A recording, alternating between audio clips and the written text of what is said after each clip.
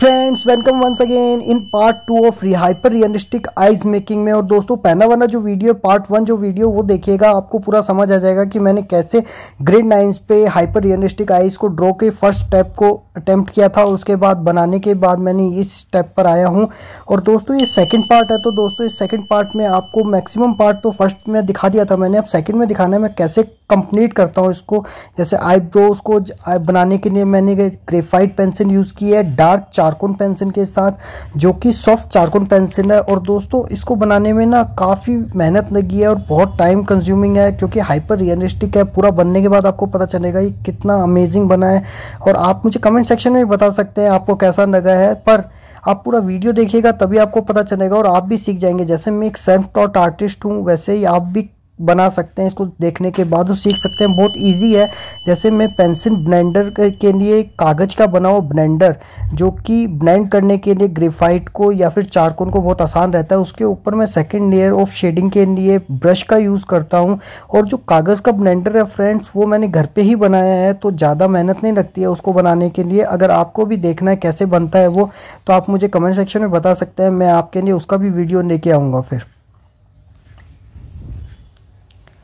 दोस्तों, ये पेंसिल है नॉर्मल पेंसिल है, जिसको मैं हल्की शेडिंग के लिए यूज़ कर रहा हूँ।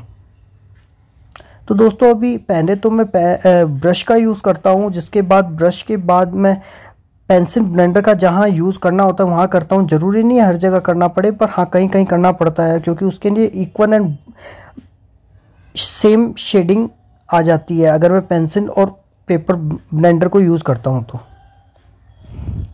अभी मैं ये जो पेंसिल यूज़ कर रहा हूँ, ये चारकोन सॉफ्ट पेंसिल है। अब मैं इसके ऊपर ब्रश का यूज़ कर रहा हूँ, जिससे कि बराबरी हो जाए शेडिंग की। ये डार्कनेस देने के लिए charcoal pencil, soft charcoal pencil का मैं यूज़ कर रहा हूँ।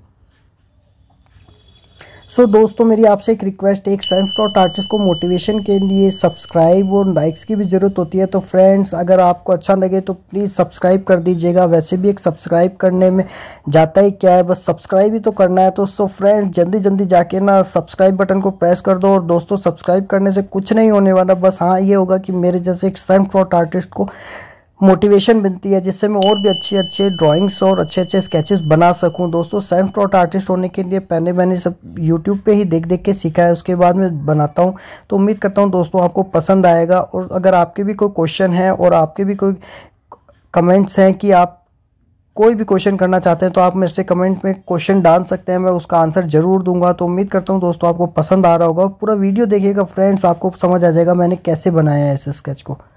हाइपर रियलिस्टिक स्केच बनाने की कोशिश की है। आइज़ की तो उम्मीद करता हूँ दोस्तों आपको समझ आ रहा होगा और दोस्तों पूरा वीडियो देखिएगा, आपको पता चल जाएगा हाइपर रियलिस्टिक वीडियो कैसा है। आइज़ का।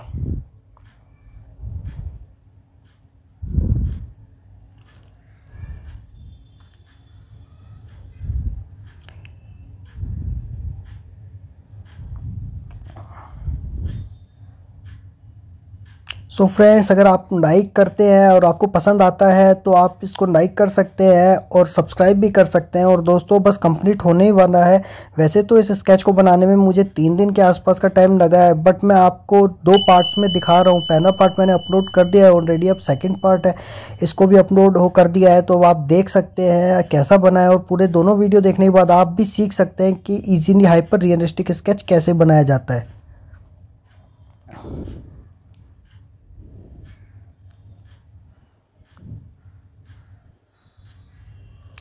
फ्रेंड्स, ब्रश का यूज़ हमेशा ब्लेंडिंग के लिए करना चाहिए। इससे आपको इक्वल एंड अमेजिंग शेडिंग के इफ़ेक्ट्स देखने को मिलते हैं। आप भी ट्राई कर सकते हैं। ब्रश को शेडिंग के लिए बहुत अच्छा इफ़ेक्ट आता है।